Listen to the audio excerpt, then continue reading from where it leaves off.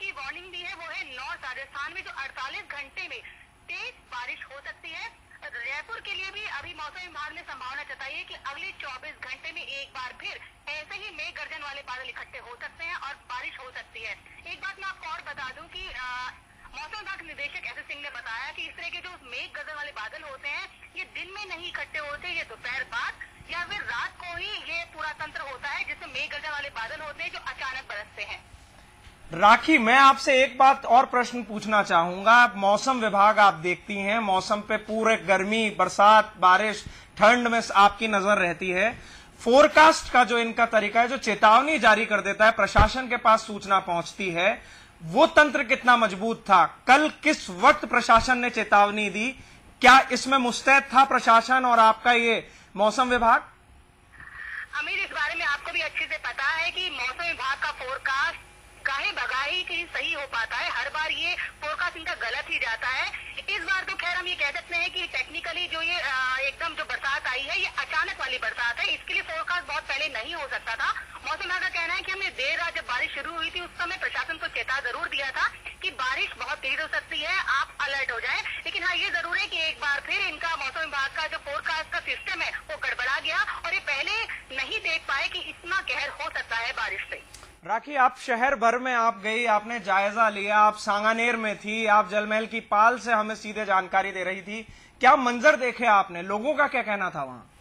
देखिए अमित, जो रात को बारिश हुई से नो डाउट पूरे शहर में तबाही हुई है, बहुत नुकसान हुआ है। लेकिन हाँ जलमहल जब हम गए तो वहाँ का जो नज़ारा था, वो बेहद खूबसूरत था।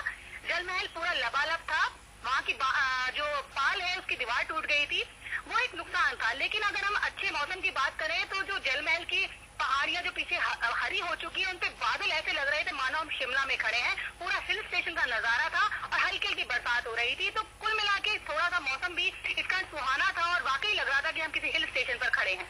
जी, राखी, मौसम, ये सुहाना तो नहीं कहा जाएगा। जिस मौसम ने दस लोगों की जान ले ली हो हाँ लेकिन बादलों को देखकर, उन लोगों को जिनको अभी तक सूचना नहीं मिली है कि शहर में कितनी तबाही मची है, वो ज़रूर मौसम का एंजॉय कर रहे होंगे। हम आपको ये भी बता दें, क्योंकि आप फ़ील्ड में थी मौजूद, अभी भी आप मौसम का हाल देख रही हैं, लगातार संपर्क में बनी हुई हैं। हमारी आपदा प्रबंधन राज्य मंत्री जब ब्रजेंद्र ओला से बात हुई तो प्रशासन की ओर से वो मुस्तैदी का दावा ज़रूर कर रहे थे, लेकिन एक मंत्री को यह तक खबर नहीं थी कि उनके आपदा प्रबंधन कंट्रोल रूम के फ़ोन बंद पड़ गए थे शॉर्ट सर्किट के कारण। बीटीवी ने उन्होंने जानकारी दी, तब उन्होंने कहा कि मैं जिला कलेक्टर से भी संपर्क करता हूँ। आपने जब लोगों से बात की जगह जगह आप गई तो क्या लोगों ने शिकायत दर्ज कराई कि प्रशासन उनकी नहीं सुन रहा? कोई रिस्पॉन्स नहीं आ रहा है उनके फोनों का? अमित मैं आपको बताऊँ इस मामले में पूरा जो जयपुर है पूरे जयपुर शहर के लोग उनमें प्रशासन के लिए रोष भरा हुआ है। उनका यही कहना है कि ड्रेनेज सिस्टम सही नहीं होने के कारण ही इतनी तबाही हुई है। अगर नालियाँ समय पे साफ़ हो नाले समय पे साफ़ हो तो इतना पानी नहीं जमा हो और इतनी तबाही ना हो। लोगों में काफ़ी रोष है। मैंने आपको दिखाया था कि पूरे परकोटे शहर के जो बाज़ार है उनके दुकानों के बेसमेंट में पानी भर गया है वहाँ पे लाखों रुपए का सामान खराब हो गया। व्यापारियों का भी यही कहना था कि वहाँ पे चौड़ा रास्ता वगैरह में फुटपाथ में काम चल रहा है जो पिछले छह महीने से चल रहा है जिससे बरसात से पहले खत्म हो जाना चाहिए था जो अभी भी चालू है तो इससे साफ़ पता चलता है कि प्रशासन अपने काम में कितना मुस्तैद है और यही कारण है कि लोगों में इतना रोष है। राखी अब परकोटे में थी वहाँ पर व्यापारियों को बहुत नुकसान हुआ है। व्यापारियों के आपने दृश्य भी हमें वहाँ से दिखाए थे। क्या कहना है क्या अंदाज़ा है आपको कितना नुकसान हुआ होगा इस बारिश से?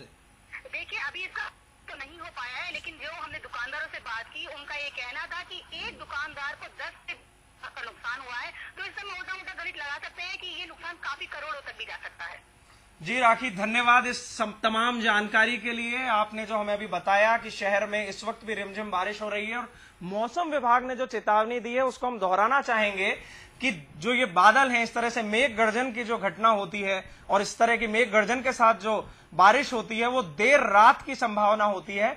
तो लोगों को फिर अलर्ट करना चाहेंगे कि तैयार रहें। 24 घंटे तक ये ऐसा होने की संभावना है।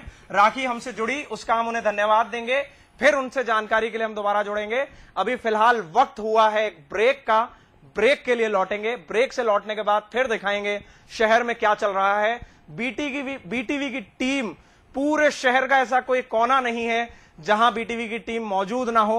हम आपको बता दें, हमारे कुछ कैमरामैन साथी तो देर रात को 12 बजे से ही फ़ील्ड में निकल गए। जैसे ही उन्होंने बारिश की गर्जन सुनी, तेज बारिश देखी। अभी ब्रेक ले रहे हैं लौट कर आपको दिखाएँगे शहर के कुछ और हिस्सों का ताज़ा हाल।